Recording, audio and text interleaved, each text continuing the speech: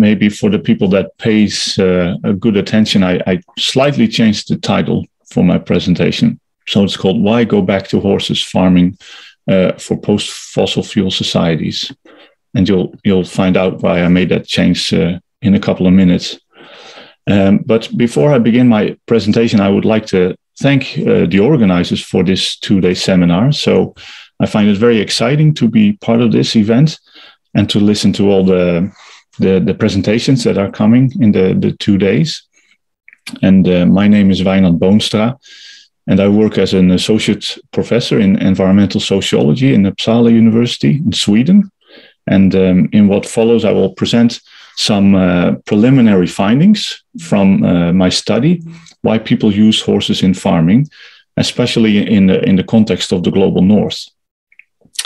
Um, and um, I believe it's important to understand reasons for why people uh, still farm with horses, because as many presenters uh, point, pointed out already, but also will point out during the two days, uh, this type of farming has a great potential for making agriculture more sustainable, uh, especially uh, when we are going to a post fossil fuel society.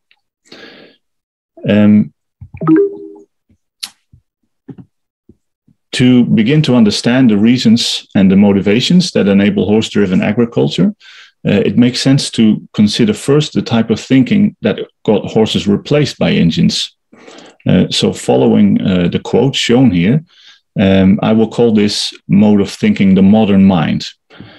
And this modern mind uh, only sees half the horse, as you can read in the quote. It sees the horse only as a tool, uh, so comparable to any other tool or any other machine.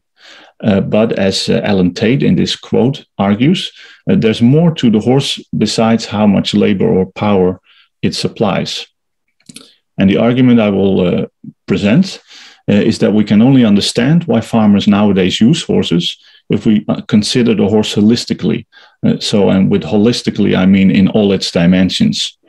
so, not only as a source of power, but also how horses connect farmers in a different way to nature, uh, how they connect them to other people, and also how working with horses affects feelings that farmers have about moral and existential aspects of their work and their life.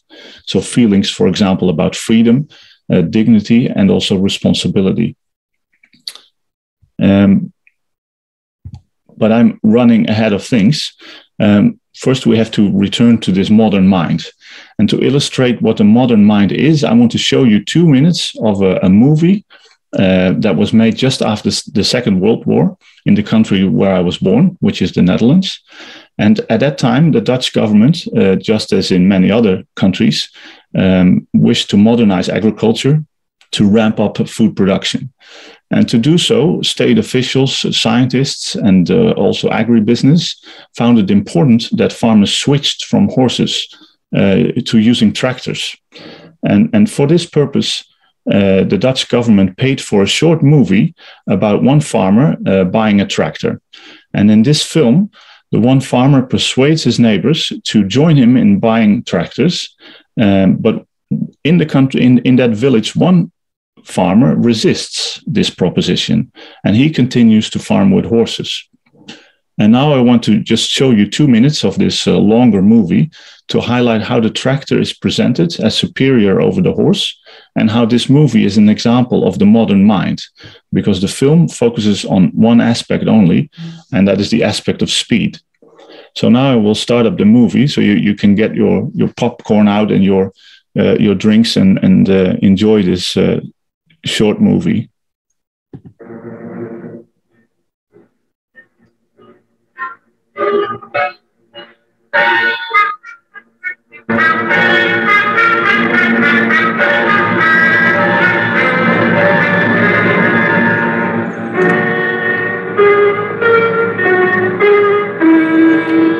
So here you see the other farmers that are looking at this new tractor to they're, they're curious to see what it does.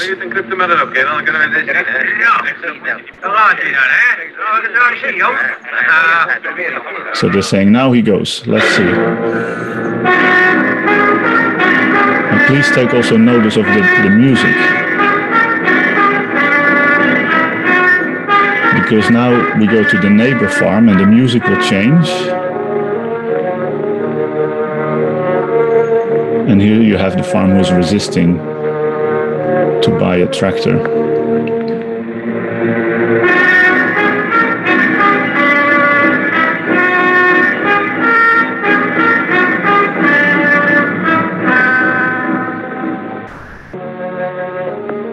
Willem Jansen werkte door alsof hij niets gehoord of gezien had. Maar de anderen hadden al lang begrepen dat het een wedstrijd werd.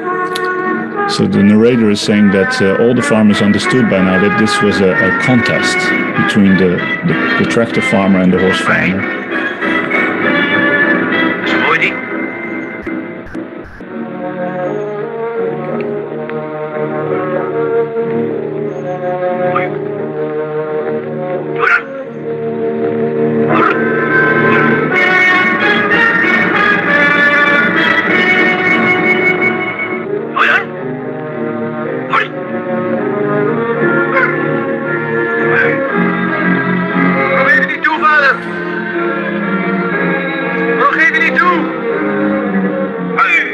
Man, this man is the son of the farmer who shouts, Why don't you admit it, father? Give up. You, you, you've lost. Um, so the full movie um, about this, uh, this, this transition to tractor farming displays a number of aspects that would change uh, with the introduction of machines driven by fossil fuels. And one of them that the movie shows very vividly, even in the music, uh, is the changing speed of farming, of course. But other aspects, that, uh, one other aspect that is also visible in the movie are the rising costs of farming. Uh, that is, if, if, you, if you watch the full movie. Uh, because at the start of the movie, the tractor farmer is convincing his neighbors to pool money in order to pay for the new and the costly tractor. Some other changes that are not part of this movie uh, because they were largely unknown at the time it was made, uh, were, of course, uh, the environmental costs of using tractors instead of horses. And so these environmental costs include CO2 emissions, but also soil compaction. Um, but that became known later in the 1970s, of course. Uh, but until now, we still uh, largely unsuccessfully uh, try to reduce uh, or avoid those negative environmental impacts of modern agriculture and which is also the reason that uh, which Kathy um, um, showed nicely in the presentation why we need a transition to another mode of agriculture that no longer relies on fossil fuels, uh, and that is that need is becoming more and more pressing. Um, so it can be considered uh, ironic uh, that in the search for sustainable and regenerative style of agriculture, a group of farmers, environmentalists, but also researchers are now try- are returning to horses. And to be more precise, uh, some of these people have never stopped using horses. Some are returning to horses, but there's also people that are now learning to farm with horses. So, what is the motivation of this group of people to turn back to the horse or to learn new how to use horses? So, in what follows, I will present five reasons why farmers nowadays work with horses. And I discovered these reasons um, from going through literature, watching movies, reading blogs, uh, and I also have been talking to horse farmers myself. Um, and in this search, I've been not uh, been concerned very much by, by scientific protocol or method, because at this stage I was primarily interested in, in the discovery of findings uh, rather than to try to justify these findings. And that is also the reason why, for today in this talk, I will focus on what farmers have said uh, and not so much on the theories or the literature that I've used. Um, but we can now take a look uh, in more detail at these five reasons that I discovered, and then I will draw some general conclusions. Um, so the first argument for using horses in farming was already, already briefly referred to, and that's the argument highlighted by these two quotes, uh, how horses contribute to sustainable agriculture. And as you can see here, uh, aspects that are important are the role of the horse in making agricultural uh, agriculture regenerative. Uh, it, it can feed back the, the compost into the farm. Um, but also that horses, of course, have very low uh, CO2 emissions. Um, and another reason why they're more sustainable is that they do not compact the soil so much. Uh, and thereby they, they're contributing to higher so- soil fertility uh, due to its positive effect on biodiversity, water flows, availability of air in the soil, as you can see depicted here.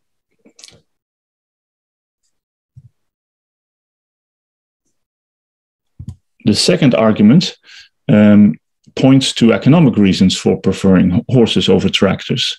And as this quote displays, uh, horses are relatively inexpensive to buy compared to a tractor. And as other people also highlighted, the horses run on feed that is often produced uh, relatively cheaply from within the farm. Um, and it's good to realize here that these economic benefits are, of course, also very contextual. So the difference in costs between a tractor and a horse can be small uh, if one chooses, for example, to work with older tractors instead of the most modern one. But nevertheless, uh, many farmers are emphasizing that uh, to start farming with horses is, is uh, less costly than to, to use tractors. And the economic argument uh, often spills over into another argument, which is about autonomy and freedom. Uh, for example, in the, quotes that follow, um, in this one, uh, horses are called a democratic resource. And that is because horses can be obtained, maintained, and reproduced very much through own efforts and resources. Uh, so it, it, it gives space for a more autonomous development of farming.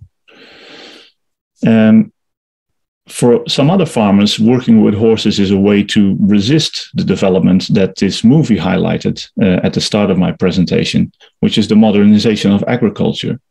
Uh, as the quote here highlights, the modernization of agriculture is often presented as inevitable and irresistible. It cannot be escaped. Uh, you have to follow this, this path in order to be a farmer. But some uh, horse farmers don't buy this determinism and they point out they can make their own choices. And even if working with horses is considered uh, by modern minds as backward and inefficient, Um, and in a similar reasoning, uh, farmers also mention that horses are hitched to machines that can often that often are simpler and therefore cheaper to obtain and also cheaper to keep running. Uh, so many farmers do this themselves, as you can read in this quote. Um, uh, so they don't have to pay mechanics to do it for them. Um, and what all these reasons show together is that the horse enables styles of farming that can be relatively cost effective because they're based on resources that are produced and reproduced on farm. Um, here we have a third reason. Um, as we already have seen, the introduction of fossil fuels and tractors allowed farmers to increase the speed of farming, and in so doing, uh, being able to cultivate and domesticate more land and animals. And some farmers, such as the one in this quote, uh, experience the scale and the speed that tractors enable as problematic. Uh, so, argued here is that a certain scale of farming helps to appreciate land and resources, and as such, stimulates a, a prudent use of those. So, the horses help farmers to keep scale low. And because of that, they connect farmers in a different way to their land and to their environment. Um, and that same line of thinking. Oh, there's somebody with the microphone open, I think. Yeah. So, so the same line of thinking is also uh, uh, you can also find in a quote from a book of um, uh, Leslie, who is who will be presenting this afternoon, um, which is at the at the end of this slide. Um, we go to the fourth reason. So this is a reason that is widely held by many farmers, uh, and it maintains that the horses make the work they do more meaningful. So, uh, Lynn Miller, um, actually, who will present later this afternoon, he says that horses make the farm work more fruitful, gainful, creative, and satisfying. And in this quote here, you see a number of arguments coming together. So, first, the quote highlights how the dictum of labor saving or time efficiency does not make any sense. um, because it simply does not apply to farming with horses. Uh, so, indeed, horses make work more labor intensive, slower, and one could even argue less easy as well. Uh, but horse farmers don't want the work to be done quicker. Uh, so, working effectively and safely with horses imposes a, a skill set that is qualitatively different from the skills that you need to operate machines.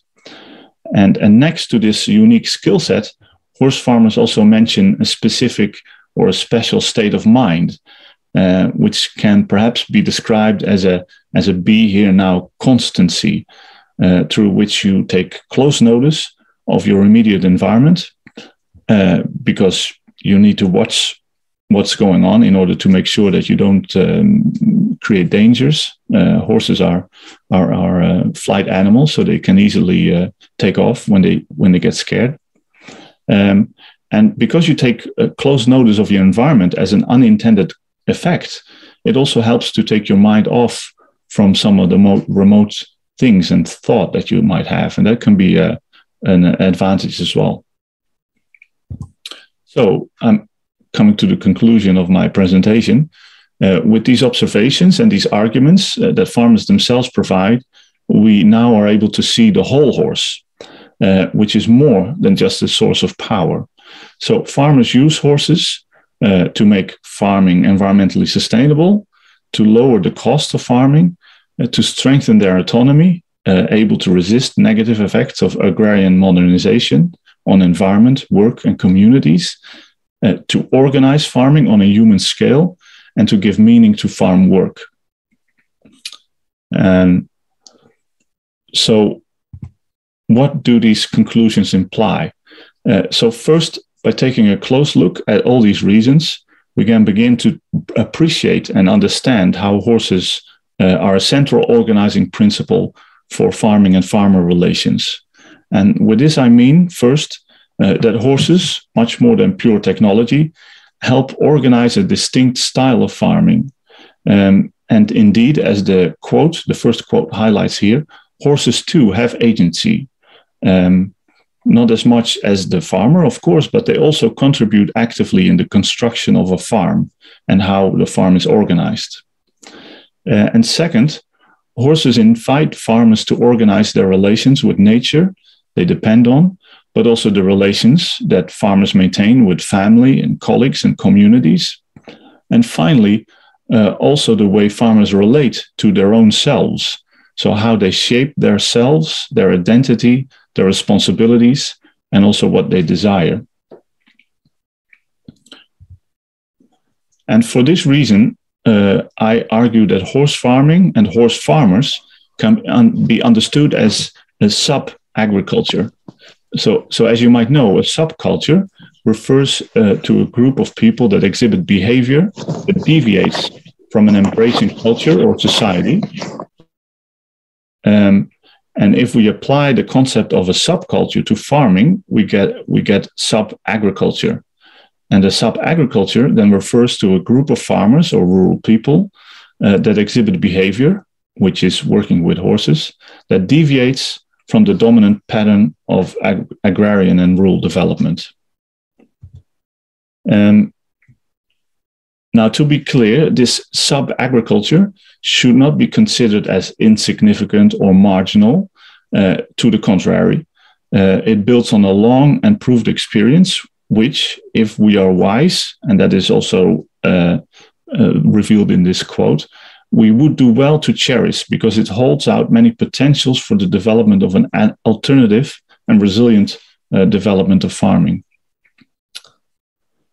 Um,